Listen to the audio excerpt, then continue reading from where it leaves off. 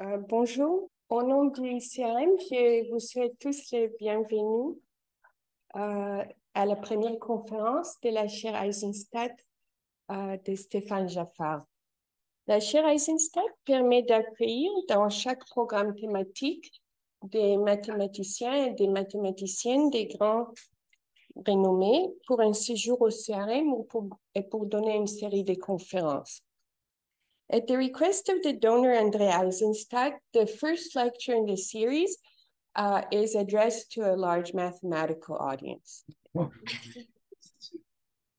Le titulaire de la chaire Eisenstadt du programme thématique en cours, modéliser et simuler les cerveaux, est Stéphane Jaffard, professeur à l'Université Paris-Est-Créteil.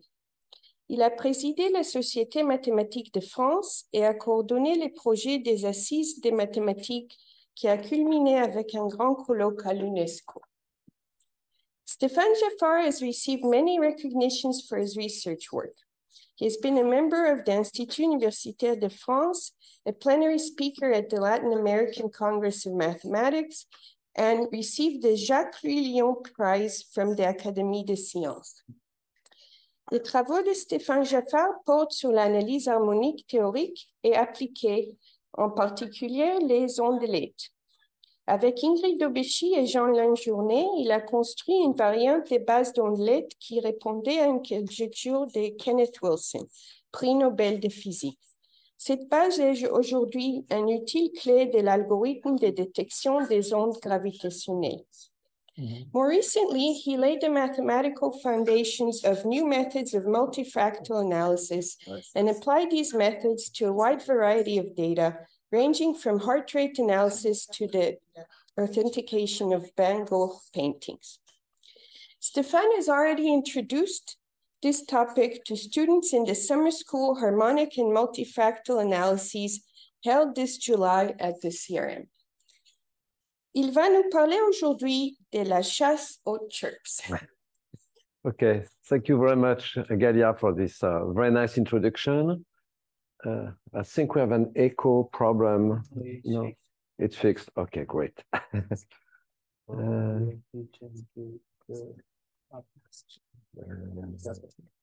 okay, yeah.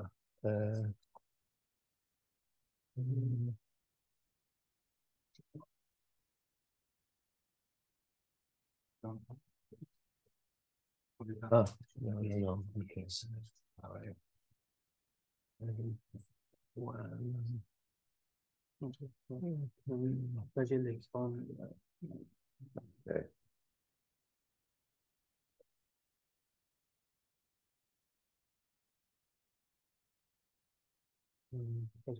Uh, okay, thank you. Merci. Um, okay, so thank you again, Galia, for this very nice introduction. It's a it's a great honor and a great pleasure to to give this uh, Aisenstadt lecture this this fall, and um, I must confess that uh, it, it, they have a very special meaning to me because a um, long time ago, in, in 1996, um, Serge, Serge Dubuc and Gilles Deslauriers and uh, Jean-Marc Lina uh, organized a CRM semester in uh, on wavelets, which uh, at that time was a very hot new topic.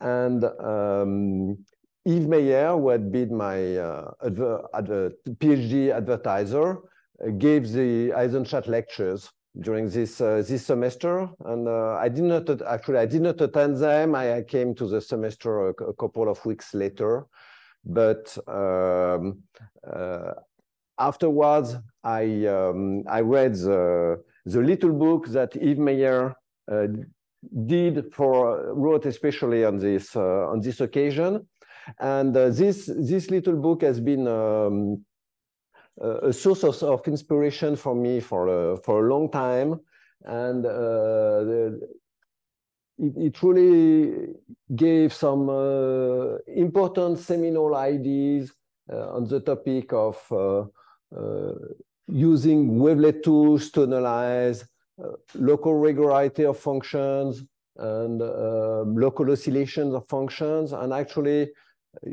I think that the, the lecture I will give today and the, the other lectures I will give uh, next week are a kind of spin-off of this uh, very uh, initial and seminal ideas that Yves Meyer uh, started uh, in, in, this very place uh, some time ago.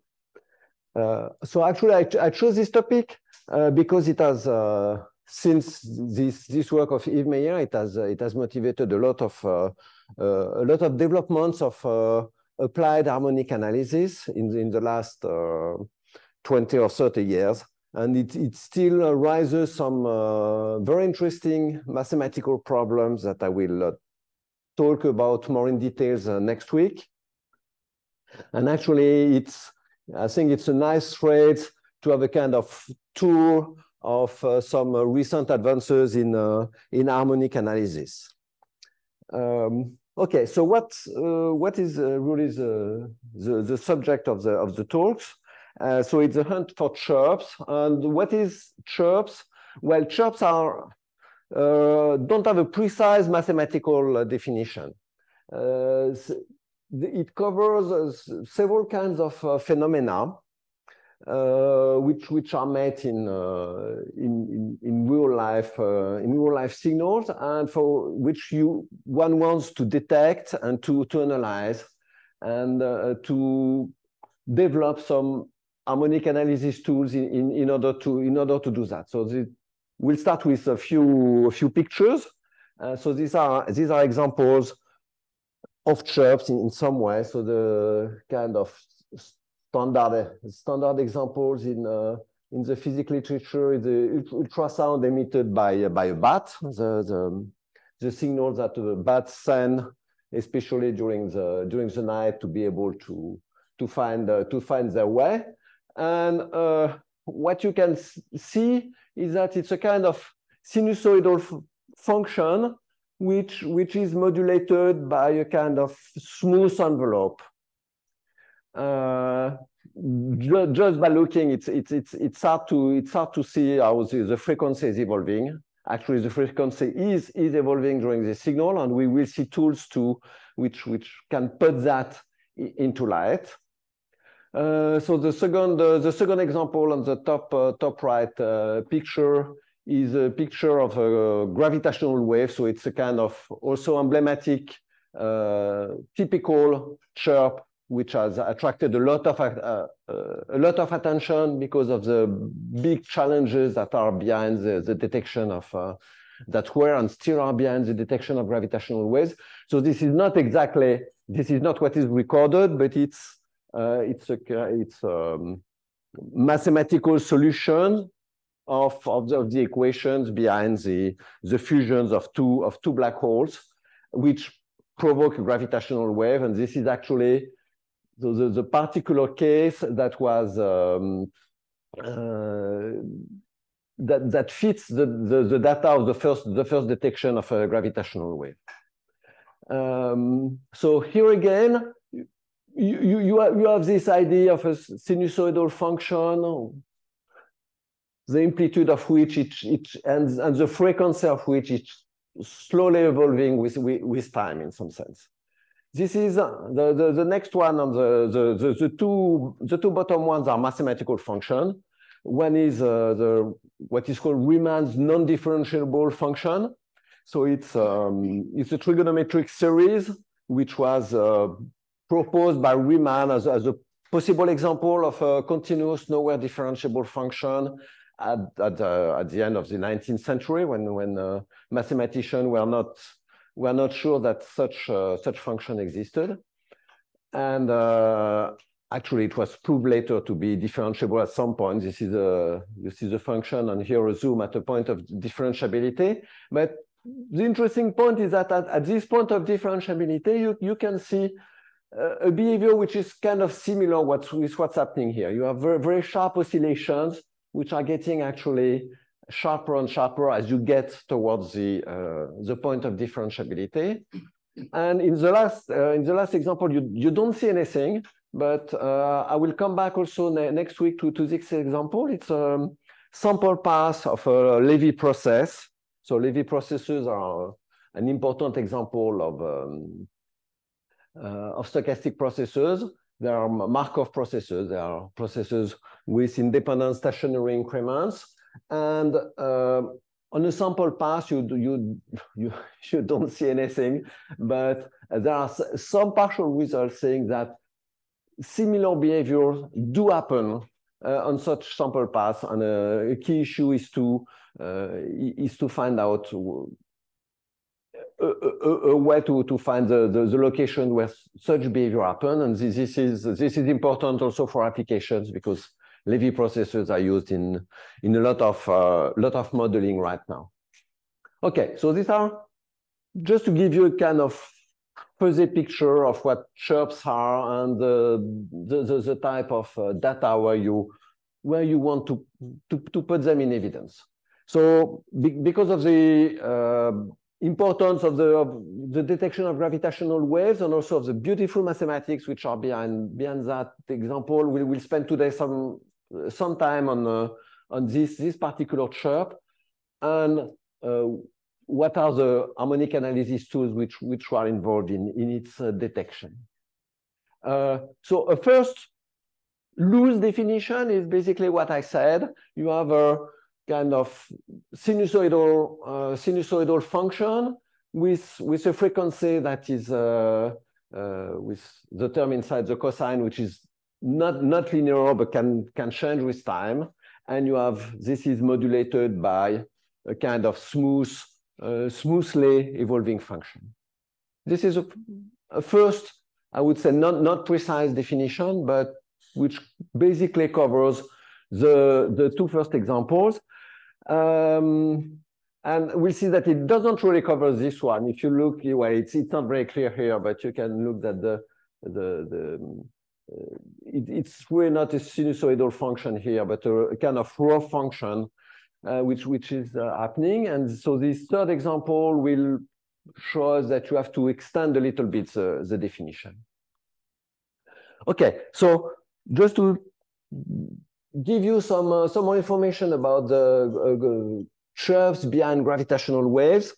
Um, first, uh, maybe the the, the a few words about the first the first detection of a gravitational wave which took place in 2015, and so the, there was a big, very very very impressive. Um, uh, experimental uh, device in two uh, two regions of the uh, of the US uh, with with with very long arms, and um, the the idea of the of the experiment was was to have some interference um, be, between two two laser beams. So maybe just to to to give you a kind of very rough idea of what's what's going on gravitational waves are generated by uh, the, the, so the, the, first typical example was, was, the fusion of two, two black holes. And they, they were actually um, uh, um, guessed to, to, to exist by, uh, by Einstein when he, when he created general relativity. And the, the loose idea is that in, in general relativity, uh, a big mass uh, is, is uh, deforming the, the, the space-time. So if you have two, uh, two black holes which, which, are, uh, which are getting uh, closer together and finally, finally merging, they, they turn around each other faster and faster as they get closer and closer. And since they are extremely heavy, it makes the space-time kind of uh, vibrate, and this is this vibration which then then is is uh, is propagated uh, at the speed of light and uh, and can be uh, can be recorded later. Okay, and so the the the, the importance is is basically uh, of two two two two levels. First, it's a confirmation of, of general relativity in some extreme conditions of, uh, of mass and energy, which was, uh, which was not available before that. And also, uh, the other important is that it, it new astronomy. I mean, uh, astronomy before that was um, uh, relied just on, on, on what, what, what we see, I mean, on uh, electromagnetic um, waves, and it gives a new, a, new way to, to do astronomy. And uh, okay, so ju just to give you a few order of magnitude, and this will explain what are really the, the challenges involved. So the it's a mixture of two extremes of what, what happened at, at the moment of the of the merger for this this particular first gravitational wave that was that was detected. Uh, the the um, the fusion took place 1.4 million years ago, and it was a the fusion of two very very big um, big stars. I mean, one was the, the mass of 36 times the sun, and the other one uh, 29 times the sun. And to, to, to give you some order of magnitude of what, what was involved, at the moment of the fusion, so in less in uh, one fifth of the second, the, the the the energy involved was three solar masses. So basically, you have the like three times the sun that was just by by the equation E equal mc2 was instantaneously transformed into energy. So that was a kind of absolutely huge, um, uh, huge event. And so that, and it was, I mean, so, so important that the uh, gravitational wave, which has, which has at the very beginning, this, uh, I mean, this, this incredible energy uh, still existed after 1.4 million years ago and could be uh, couldn't be captured. But uh, when it was captured, I mean, it was a technolo huge technical technological challenge because the um, the, the size of the the size of the gravitational waves was 10 to the minus 21 meters. And to, to give you some, some idea of what it means, I mean, the, the, the radius of the hydrogen atom is 10 to the minus 11, and the radius of the atomic nucleus of the atom is 10 to the minus 15. So it's 10 to the minus 6 times the radius of the atomic nucleus. So it's, it's, it's so small that actually, for instance, when, when, when Einstein um, uh, imagined the existence of gravitational waves, he saw that they would never they, they would never be uh, uh, they, they, they, could uh, they, they, could not be uh, spotted because they were really too small. And the the big problem, which which is interesting for for for mathematician, is that it's a very very tiny signal inside a huge noise. I mean, the the the signal which is recorded by the, the big device I showed, is of the order of magnitude of 10 to the minus 18th meters. So you the the the signal is one thousand of of of the noise. So you have to find a signal inside a big noise, which is one thousand times bigger. That and that's really a, a, very difficult denoising problem. And and to to to do this denoising, you you have to to forge mathematical tools which are really uh, adapted to this uh, to this particular detection. Okay, so the the the, the idea which was really um, uh, developed by Rainer Weiss, who got the Nobel Prize for that a few just the, the year after the, the detection, is as I said before to to make two two laser beams uh, interfere, and the idea is that you you uh, you make them perfectly interfere when there is no gravitational wave, so that the, the sum of the, uh, you have uh, one, the, the, the one laser beam which is created here, you have a semi-reflective mirror here, and so part, of the laser beam goes here and is reflected, and part of the laser beam does that, and then they are added up here. So when, when nothing's happened, you, you, you, you, you, you just make the device so that the interference makes them exactly vanish. And if a gravitational wave is, is, is passing, basically its, um, its consequence is its as I said, it, it makes the, um, the, the, the, time space vibrate. So it makes every, every distance get uh, uh, smaller and bigger for, for, for a small time in a, uh, in, uh, you have this, this, little oscillation. So the two laser beams will be slightly dephased and you, you will have you will have a signal. The, the sum won't be zero anymore, but you will have a, a little signal, which, which will be the, um, the signature of the gravitational wave. Okay, so this is what, what, was, uh, what was recorded at the two, um, uh, the two devices in uh, and Livingston. As you see, the order of magnitude is 10 to the minus 18th. And as I said, it's basically noise, okay? And so the, the, the first treatment is a standard Fourier denoising. So if you look at the Fourier spectrum of the data, so basically you, you perform a Fourier transform of this kind of signals. And basically what you, what you see is essentially noise.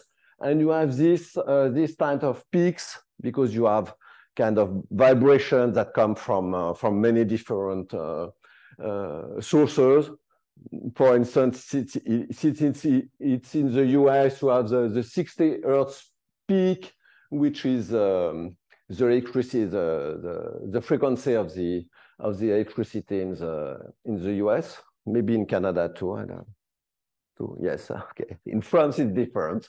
Uh, okay so in france the peak could be at another location.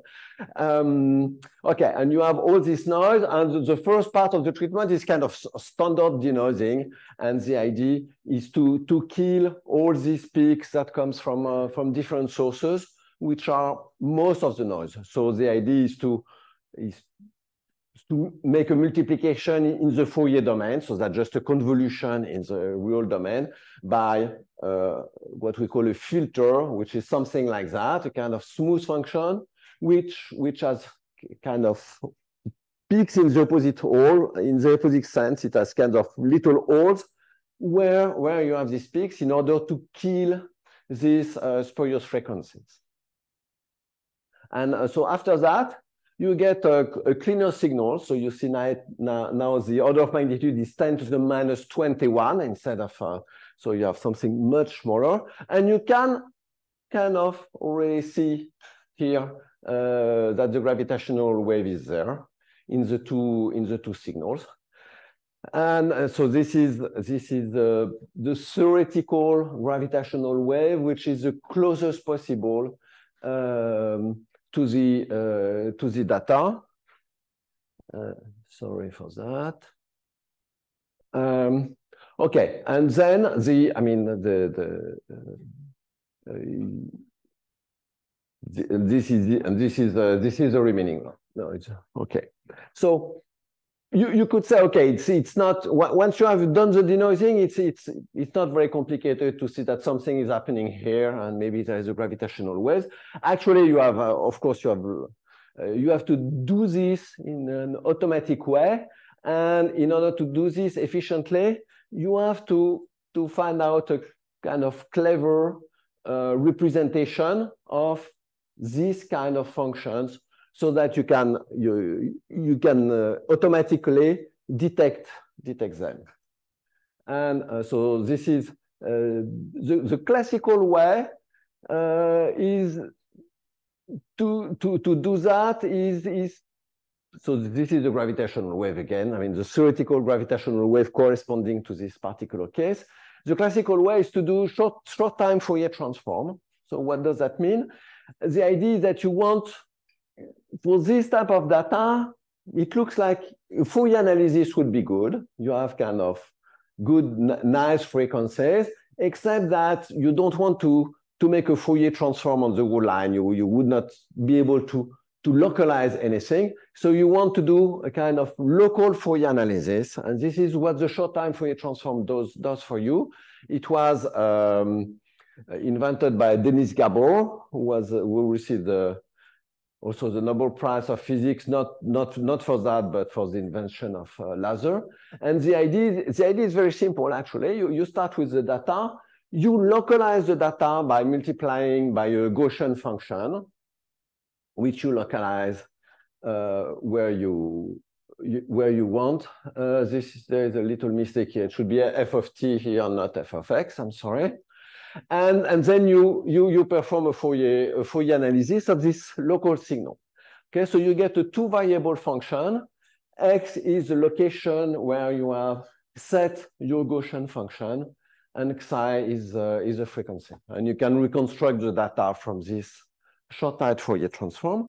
Okay, so if you uh, a good image is is to think of a, a music partition. If you have notes, uh, and uh, for instance, if you hear the the piece of music which is played by these notes, you you you you would like to to, to this is the problem basic, basically of musical di dictation. You know, you hear the music and you want to say what are the notes, and this is exactly what the short time Fourier transform is, is doing for you. It's telling you that at this particular location, there is a frequency at uh, this, this type of frequency. And uh, so this is typically what, for, for this piece of music, this is what, what, what gives the, the short time Fourier transform. So this is the time, basically, and, and you have the frequency here. And uh, so you can more or less uh, see that this, the big, um, uh, the, the big values of the short time Fourier transform uh, correspond to this uh, to these nodes.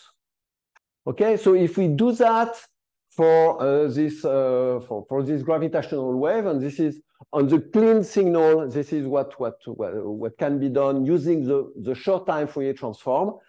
You get something where where there is noise, you get basically nothing.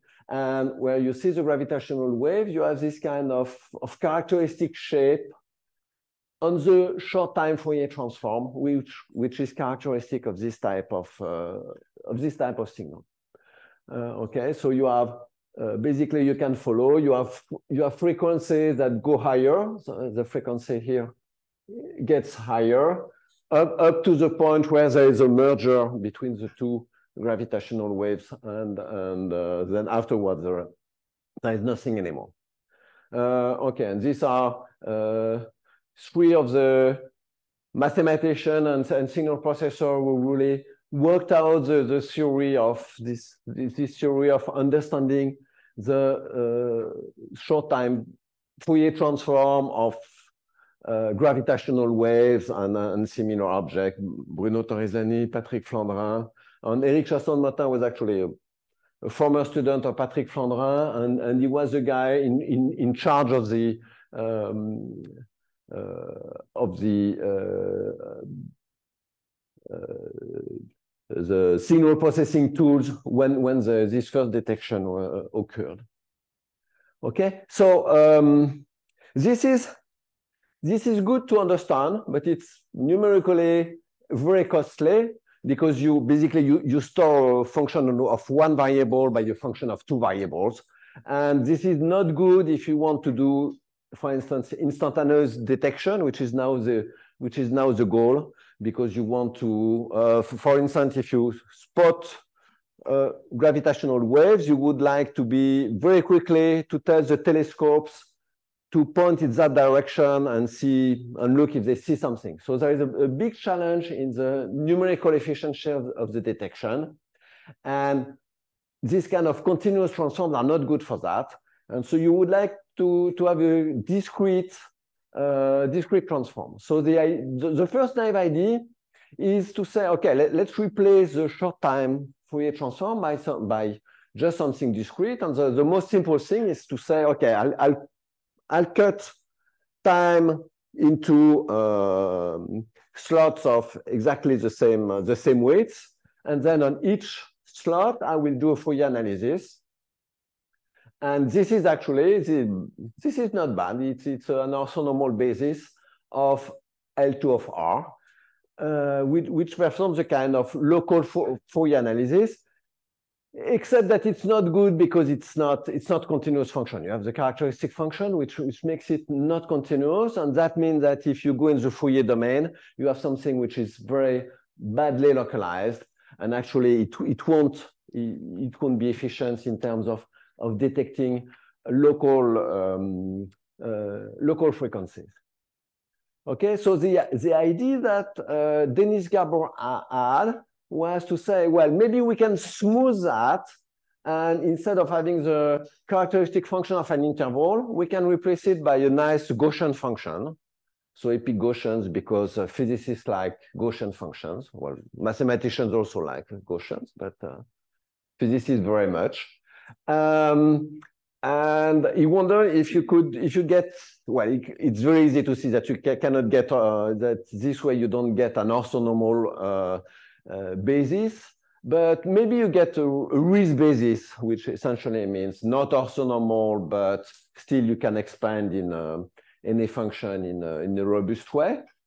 And um, these, these, these kinds of hopes, I mean, even if you replace the function phi by some other maybe more clever functions were killed in um, beginning of the 90s by a famous theorem, the Balian-Low theorem, which tells you that if you uh, if you if you consider a system of this uh, of this kind obtained by translations in space and, and translations in the Fourier domain of of one given function j necessarily the, the function j has, does not have a, a good, good properties in, term, in terms either of space localization or of, uh, of, of Fourier localization. So these, these are the, um, uh, the, the, the, the, requirements. And so basically this hope of Gabor is somehow killed. You, you, you, you cannot do, uh, you cannot have anything like that. Um, and well, maybe you could you you could say, okay, I'm a little bit too too ambitious to have just one function j. Maybe by using a few of them, uh, I could solve the problem. And uh, so there was another uh, theorem, uh, Machado theorem, which killed all hopes of this of in in this direction. I mean, if you have different functions, but with kind of uniform uh, localization in space and time, still you can you cannot have a neither an orthonormal basis nor even a, a basis. So it's a kind of strong uncertainty principle for basis. And okay, so Jean Bourgain showed that the the stupid example I showed in a few minutes ago was was uh, can be slightly improved and constructed a basis which just shows that Tim Steger's um, example is uh, is optimal, but still is very far from from meeting what you what you really want in terms of localization for um, uh, for applications in in signal processing. Okay, so so the one big challenge was uh, uh how can you turn around this, this Balian-Low theorem and still have something, uh, in particular, an orthonormal basis would be uh, would be very good.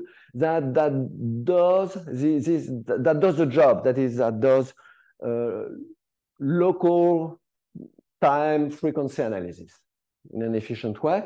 And there was a the, the first idea was was um, uh, was proposed by uh, Ken Wilson who was also a Nobel Prize in, in physics for uh, renormalization theory. And, and he needed a kind of uh, basis with that property uh, to do some, some computations in uh, renormalization theory.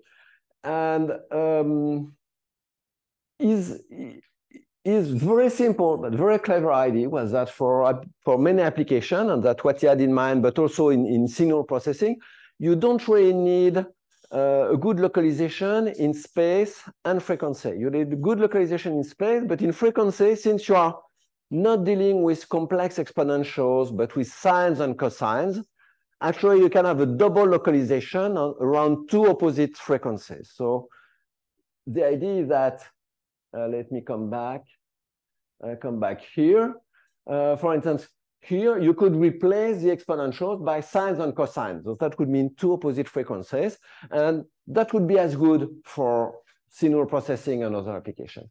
And the, the, the, the remarkable uh, point was that once you have dropped that, and we, we now call this Wilson basis, then you, you, the, the Balian-Low theorem does not apply any longer, and you can have very good, uh, very good orthonormal basis which are basically of the, of the previous form. So you, you, you, you shift, you have just one function phi, you shift it, you multiply it by cosines and sines in a, in a clever way, and you get an orthonormal basis. And the function phi can be, uh, you, you, you, have several possibilities. So for instance, what, what was needed for Wilson's computation was uh, uh, an exponential decay in space and in the Fourier domain, and you have examples of that. And so this is the construction I, I, uh, I did with Ingrid Daubechies and, and Jean-Lin Journé. And uh, you can also, uh, another example which did not attract our attention was that you can also have the function phi, which is compactly supported in the Fourier domain and which has a fast, uh, fast decay in, in, the, in the space domain.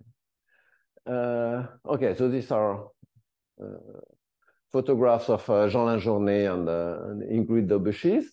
And so these are the two, the two important examples. And actually, this, this basis was a little bit used in, um, uh, in quantum mechanics, but not so much. And the, um, the, the, the, nice point was that it, it was um, Sergei Klimenko, who, who, was working on this on this problem of detection of gravitational waves, just realized that it was uh, exactly the, the tool that he needed to do this um, uh, to, to do this detection of gravitational waves, and uh, and he, he picks the case where, where, where the function phi is compactly supported in the Fourier domain, which was exactly what he what was needed. And so this is uh, this is the, the, picture for, for this first gravitational wave of the short time short time Fourier transform, but discrete using this system. So it's not as nice as the picture I showed, but it, I mean, it's uh, uh, you, you, you get it much, much, much faster, and, and you recognize this kind of typical sh shape of the chirp here, which uh, which is the signature of the of the gravitational waves. And so um, the why did Sergei Klimenko pick this particular basis? Because and, and, and this, this, came at the top of, of, of many works of, uh, in particular of the people I mentioned, Bruno Torresani, Patrick Flandrin, and other people. Is they, have the remarkable property that you have a sparse representation of gravitational waves on this basis. And by sparse, I mean that you, you can represent it using very, very few coefficients. So basically, if you have a big noise, if you have a basis on which you don't have a sparse representation, you, you won't see the coefficients of the function because they, they will be drawn in the noise. And if you have a, a sparse representation, you will have a, few, your, the, the signal you are, you, you want to detect will have a few big coefficients and they will be larger than the noise because of this sparsity. So the, the, the, the idea of sparsity of the representation is really the key idea here, and it makes the detection uh, the detection possible.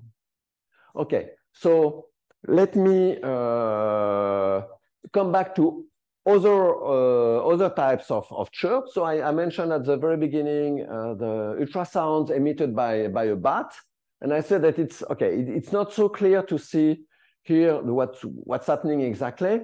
And this is the, so here I, sh I, show you the, the, the, classical short time, short time Fourier transform so that you can see the evolution of the frequency of the what we call the instantaneous frequency as a function of time, which here is going slowly down, and this is the, uh, the this is the the signal uh, emitted by the bat when it approaches um, uh, uh the, the the prey, and when it's it's getting it's attacking the prey, you have a different a different ultrasound with a different signature in in the time frequency uh, domain. Okay, so these are uh, I think so. this is uh, okay. I didn't explain exactly. Uh, so the, the, this is the, the, amplitude of the short time Fourier transform. So it's basically essentially vanishing, except on this uh, particular line, which give which give you the evolution of the instantaneous uh, frequency of the of the signal. So to, to model this type, this type of chirps, we can keep the definition I, I, gave at the very beginning and be a little bit more precise. If, if you want this kind of analysis using short time Fourier transform to be efficient, you have to assume uh, a few hypotheses, basically two, two hypotheses, which are kind of standard in um, for this type of data. The first one expresses the fact that uh, basically if you go from uh, one oscillation to, to the next one, the, the, the amplitude the amplitude of the uh, of the envelope does not change much. This is what is explained by the, what is um, mathematically uh, expressed by the first condition. And the second condition expresses the fact that the frequency, the local frequency, does not change much from one um, uh, from one um, uh, oscillation to the next one. Okay, so if you have these two conditions, you will have um, these kinds of chirps, which uh, uh, for which typically a time frequency analysis will be will be fitted. Okay, and this is a very good approximation of this gravitational wave. Um, not not up to the merger point. You see that this uh, it, it should go to infinity, which is not the case, but close close to the merger part, it's a good it's a good approximation, and you see that it's basically it looks like uh, it looks like that.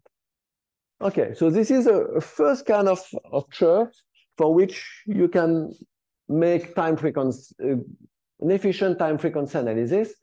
And now I would like to, to go to another types of chirps, uh, which have been analyzed and uh, actually much uh, much considered by Yves Meyer and a little bit in, in, in the book I was mentioning at the beginning, and then and then later he, come, it, he came back to it, uh, which are of another kind.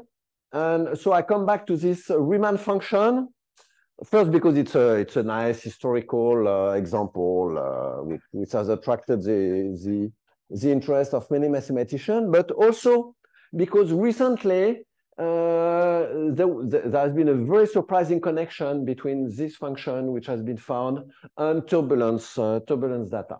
And uh, among physicists, especially physicists who do uh, turbulence modeling, uh, the um, the idea that you have kind of very fast oscillations in, in turbulence data that seem to occur at some point, in particular around uh, uh, uh, vorticity filaments was, well, kind of heuristically acknowledged. And one, one big challenge is when you have recordings of, of turbulence data, can you, can you find out this kind of chirp behaviors? And uh, actually, so this, this was not experimental, this is a, theoretical.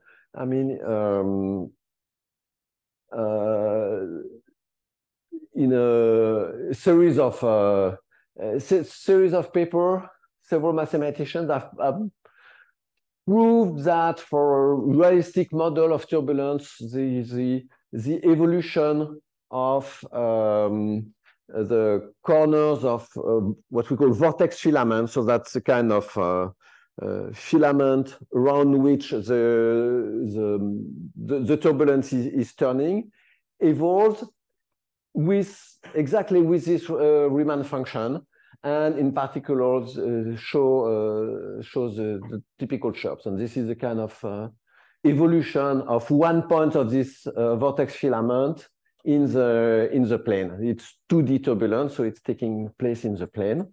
So so this was the first theoretical evidence that this kind of chirps-like behaviors are, are occurring and uh, in, in turbulence, and it revived the, the interest for numerical methods that would be able to, to find this, uh, this, ty this type of chirps. So let me show you again this, this Riemann function. This is the picture I showed already. And this is where you zoom here around the point, as I mentioned, the point of, uh, of differentiability. And as I said, you have this, this very this very oscillatory behavior, but uh, you, you, you can, um, this is a joint work I did a long time ago with Yves Meyer. You can, you can write a, an asymptotic expansion of the Riemann function around that point. So basically you have a linear path and then you have a chirp behavior, something like uh, a sine one over x, except that it's not a sine. It's uh, the first term is another function, which is essentially a Riemann's function. Not exactly, but you, you have to subtract um, uh, a smooth function, but it's essentially Riemann's function. So it's not smooth. And as I said at the beginning, it, it does not fit this um, framework of A of t cosine uh, phi of t with a nice and smooth uh, and t, because you see that the function you have to put here is, is a non-smooth function. It's basically, it's Riemann's function it's itself which shows up in the, um, in the oscillations. Uh, so it does not fit the previous framework, but you, you still want to call that a chirp also. And um, you want to be able, as I said, to, to analyze uh, such data and to, to spot them in, uh, in signals. Um, so this is the question I'm, uh, I'm raising. And one way to, uh, one way to do it is um, uh, to, um, to consider the pointwise regularity exponent. So what, what is the, the local regularity is regularity at a point of the function you are, you are considering. So I'm just recalling here the definition of the classical definition of pointwise Hölder regularity. The function is C alpha at a point if f minus its Taylor expansion can be bounded by x minus x naught to the alpha. And the Hölder exponent, which is a way to measure the, the regularity at every point of the function. It's just the, basically the best possible alpha you can, you can pick here. Okay? And uh, so typical examples of function with a given Hölder exponent are the what we call cusp, x minus x naught to the h, and the uh, at x naught, the, uh, the exponent will be, uh, the Hölder exponent will be h exactly. Okay? And uh, so can you see the difference between cusp and other very oscillating behaviors like Riemann's function that I was showing? And the, the answer is uh, the answer is yes. Uh, and you can do it as, follow, as follows. Uh, a, a, a cusp singularity has a, has a, nice property that if you take a primitive of the cusp, you will have, of course, x minus x, a constant x minus x naught to the h plus one. So basically, the for this type of singularities, when you take a primitive, the, uh, the regularity is raised by one, which, which basically is what you would expect for when you take a primitive. Except that when you have oscillating singularities, like what's happening in Riemann's function. So I'm taking one a little bit uh, simpler uh, like that. And if you, uh, and here the, the Hölder exponent also, I mean, the sign is bounded by one. So the Hölder exponent is also h exactly.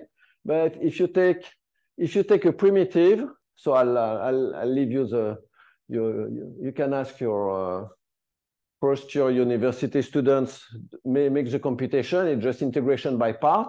And you can see that if, if, you, uh, if you take a primitive of this function, the Hölder exponent is not raised by one, but by beta plus one, okay? So it's because of these very fast oscillations. When you, you when you integrate, you have cancellation and, and you have a larger than expected improvement of the of the pointwise regularity. Okay, and and you you want to take advantage of this difference between these kind of chirps. So you, you could do the, the, the, the sign doesn't play a particular role. You can do the same computation with Riemann's function. What you want to, what you really need here is a periodic function which uh, with a vanishing interval, and that uh, that would be as good.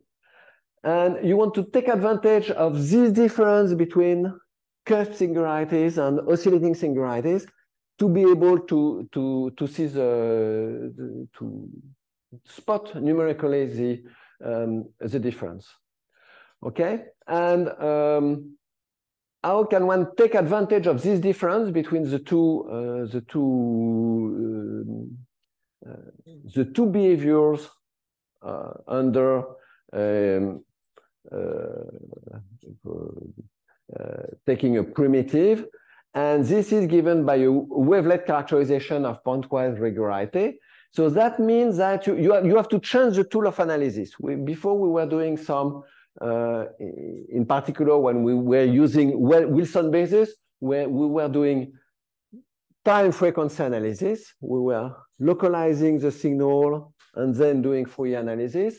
And wavelet analysis is based on another paradigm, which is time scale analysis. So you have, at this time, you have one particular wavelet, and you take translations and dyadic dilations of, of the wavelet. So you get a system which looks a little bit like that. And so this is the, the classical theory of orthonormal wavelet basis. You can, you, you, you can pick smooth, smooth uh, function psi, smooth, well-localized function psi, and get orthonormal basis. Uh, and to, to, to show you the big difference between Wilson basis and wavelet basis, so here are examples of Wilson basis. So you see, you, you don't have the same, the same shape. You have the, in the Wilson case, you have a characteristic, uh, characteristic length, and then you make faster and faster oscillations. So you, you don't have the same shape, but you, the, the, the system on which you analyze your data has a characteristic length and um, different frequencies. And here it's, it's really different. You always have the same shape, which is shifted and, and dilated. So it's really two different point of view, time frequency versus time scale analysis. And time scale is, is, is a good way to characterize pointwise regularity. Uh, okay, so these are just uh, a few of the, uh, this is a photograph of a few of the major actors of uh, construction of wavelets, Yves Meyer and uh, Stéphane Mallat and Ingrid Daubechies. this, this picture was taken during the celebrations for Yves Meyer's Abel Prize. And uh, okay, so this characterization is, is done not directly on the wavelet coefficient, but on another quantity, which is which we call wavelet leaders. So the idea is to parameterize the wavelet coefficients by uh, dyadic intervals, which basically tells you uh, where is the support of the wavelet. And the idea is to, to consider new quantities, which are wavelet leaders, which are local suprema of wavelet coefficients. So you, if you think of this, this is, uh, for instance, a dyadic interval parametrizing a wavelet and you take the supremum of the wavelet coefficients corresponding to six wavelet coefficients and the next ones, and the ones basically located at the same location, but at higher and higher frequencies. And you look at this suprema, and what you can show is that if, if you have some uniform uh, regularity uh, on the data, you, you can exactly recover the pointwise Hölder exponent by a pointwise log-log regression of these wavelet leaders as, as a function of the scale. So 2 to the minus j is basically the width of the wavelet. Uh, okay, so so this is this is just a, a numerical uh, explanation of, of what's happening. We have a, a beautiful cusp and basically, this, these are some scaling invariants. You see, it's x minus x naught to the h. So since wavelets have also scaling invariants, they deduce from each other by translations and change of scale. It's very natural that when you look at the wavelet coefficients located at, at the singularity, you, you, you, you, get a, you, you get a nice uh, log-log plot regression, and the slope is exactly the exponent. And if you do wavelet leaders, you get, you get the same thing. But here, you have a function which, which does not have any more uh, scaling invariance. If you, if you shift and dilate it, you, don't get the same function.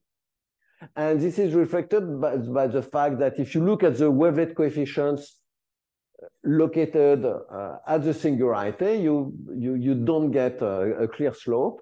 but the magic of the, of the previous theorem is that if you look at these wavelet leaders, though you don't have scaling invariance on the function, you have scaling invariance which is restored by the wavelet leaders. And if you do log-log plot regression, you get basically the, the right exponent. Okay, so this is what you can take advantage of if you use wavelet leaders.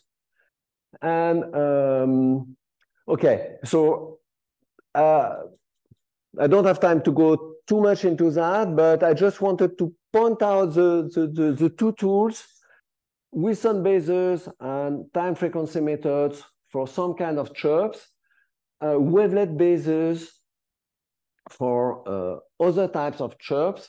And actually, what I one of the points I will uh, I will develop in the next week is how you can take advantage of these different behaviors under integration of cusp and chirps to to work out tools which which allow you to to say if, the, if there are chirps in in the data and what what kind of chirps you have uh, on the data in the data you you analyze. Um, so just to sum up things, uh, there are, for this last type application of chirps, there are some uh, several uh, theoretical applications. Like, as I said, I, I, took the example of the, of the Riemann series, but there are also um, random wavelet series, uh, which is a st standard um, uh, model of stochastic process for which you have also th this kind of chirp, which you can prove uh, to, to show up. And, uh, and the point I, I started, uh, the example I gave in, in, the first example of my, uh, in, in, the first slides was sample pass of Levy processors. And this is really important because there is a, an important work of Paul Balança a few years ago who, who proved that there are some chirps in, in the sample path of, of Levy processors. But uh, he, he didn't he didn't have the, the, the whole answer to, to, to, to, the question. He proved the existence of chirps for some Levy processors, of non, the non-existent for some others. Uh, but we, we, we don't have the full picture. We don't know exactly what's happening. And it's really important because Levy processors are, um, uh, are models in many, many, many applications. And um, so this is again, what I will talk a little bit about uh, next week, taking advantage of, of, the fact that when you have chirps like I showed in the Riemann function, you have, you have this very specific behavior of the pointwise regularity, which depends on a parameter beta, which characterizes, uh, which is a signature of the chirp, and you can take advantage of that to, uh, to spot them. So just, to, to give you the next challenges, I'm, I'm, I'm working with uh, on the detection of chirps in turbulence data with uh, Patrice Abry and um, Françoise Argoul. Uh, we are starting to talk about Bruen data with uh, Jean-Marc. Uh, and I'm also an important issue in seismic recordings. there are some, some clues that there are chirps in seismic recording which, which could be a, a warning of uh, uh, important events. And uh, so detecting also chirps in seismic recording is, is, a, is a big issue. And I'm starting to work on that with uh, Martin de Hoop. And uh, on the theoretical side, uh, maybe my talk will give you the impression that there are two split methods between time frequency methods and Wilson basers and uh, time scale method and uh, uh, wavelet basers, but it's probably not the end of the story.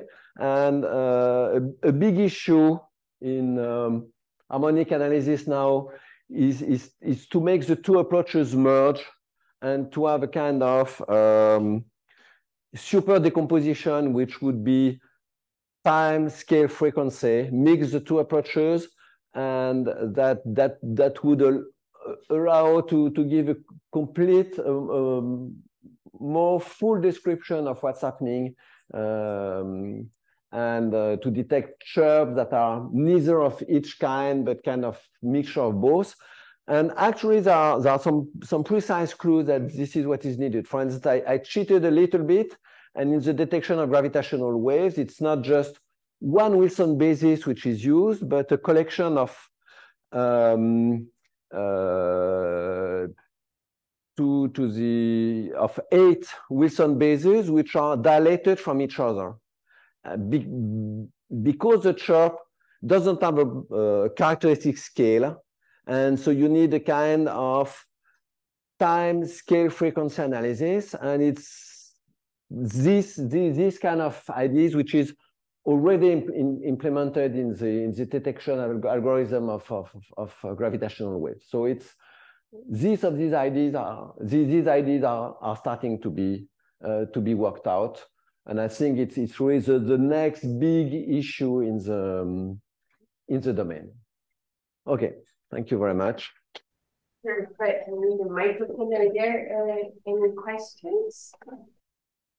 Uh, yeah, so uh, I'm understanding like the, the, the chirps that uh, you've been presenting this talk were mostly one dimensional, right? Like apart maybe from the turbulence example. Yes. I was wondering how does the 2D or 3D chirp look like?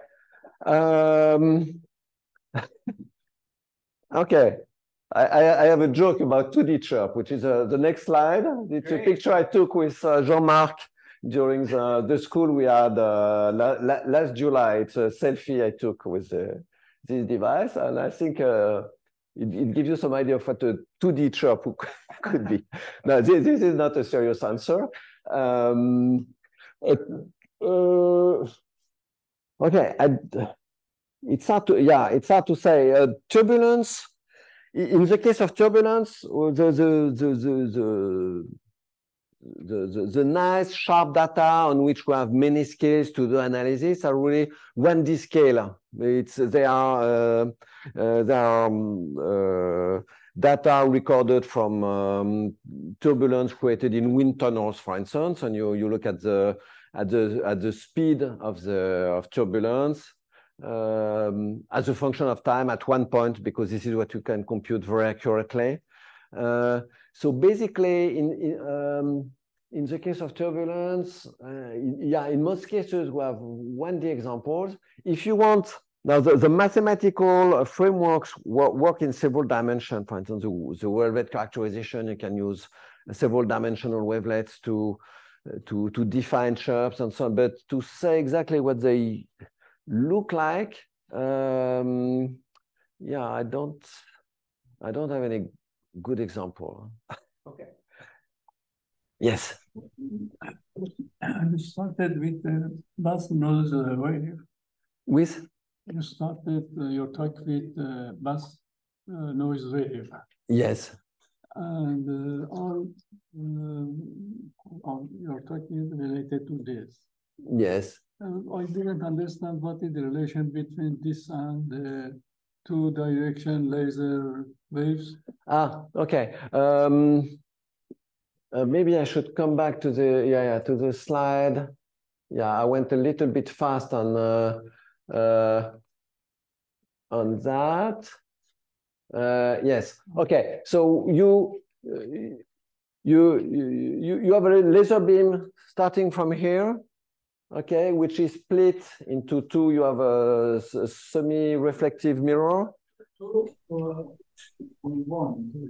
No, no. You have you have one one laser beam here. Okay, so just one.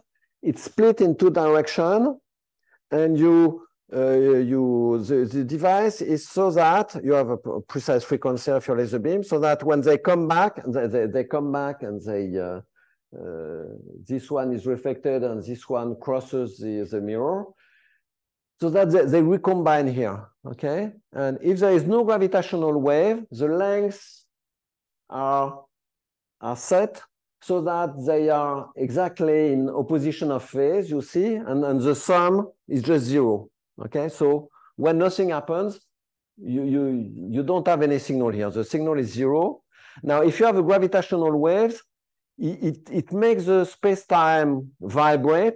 So it makes the length, for instance, if, if it's going this way, it makes the, the length here shrink and when, when uh, when the gravitational waves crosses this room, we all, all of us get uh, bigger and smaller in a, in a, in, in an infinitesimal way. But you see, so the, so the, uh, the, the perfect reconstruction to zero of the two laser beams is no more perfect because you have this, this slight contraction and dilation of space, which happens, and, and, and the sum is no more zero, and it's, it's the signal I showed.